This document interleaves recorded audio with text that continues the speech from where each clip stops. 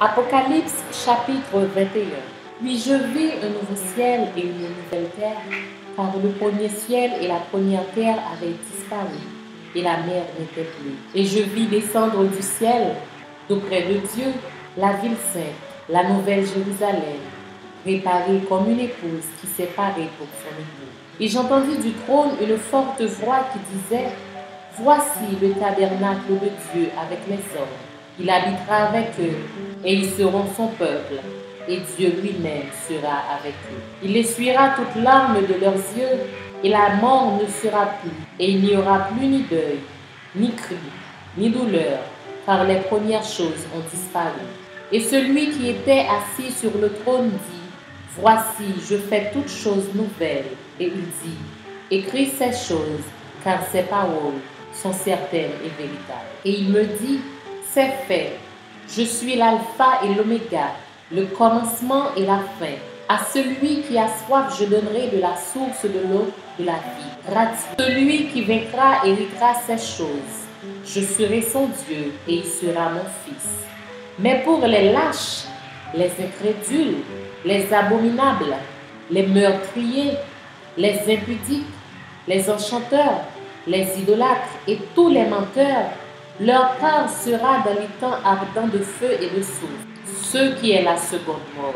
Puis un des sept anges qui tenait les sept coupes remplis des sept derniers fléaux vint, et il m'adressa la parole en disant, Viens, je te montrerai l'épouse, la femme de la vie. Et il me transporta en esprit sur une grande et haute montagne, et il me montra la ville sainte, Jérusalem, qui descendait du ciel d'auprès de Dieu et à la gloire de Dieu. Son éclat était semblable à celui d'une pierre très précieuse, d'une pierre de jaspe transparente comme du cristal. Elle avait une grande et haute muraille, elle avait douze portes, et sur les portes douze anges, et des noms écrits, ceux des douze tribus des fils d'Israël. À l'Orient, trois portes, au nord, trois portes, au midi, trois portes, et à l'Occident, trois portes. La muraille de la ville avait douze fondements, et sur eux les douze noms des douze apôtres de l'agneau. Celui qui me parlait avait pour mesure un roseau d'or afin de mesurer la ville, ses portes et sa muraille. La ville avait la forme d'un carré et sa longueur était égale à sa largeur. Il mesura la ville avec le roseau et trouva douze mille stades. La longueur, la largeur et la hauteur en étaient égales. Il mesura la muraille et trouva 144 coudées, mesure d'or qui était celle de l'ange. La muraille était construite en jaspe et la ville était d'or pur, semblable à du verre pur. Les fondements de la muraille de la ville étaient ornés de pierres précieuses de toute espèce.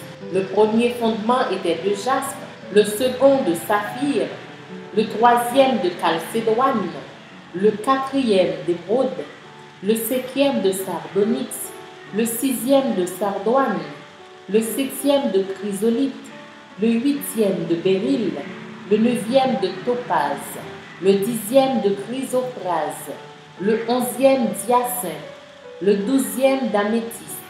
Les douze portes étaient douze perles. Chaque porte était d'une seule perle. La place de la ville était d'or pur, comme du verre transparent. Je ne vis point de temple dans la ville, car le Seigneur Dieu Tout-Puissant est son temple, ainsi que l'agneau.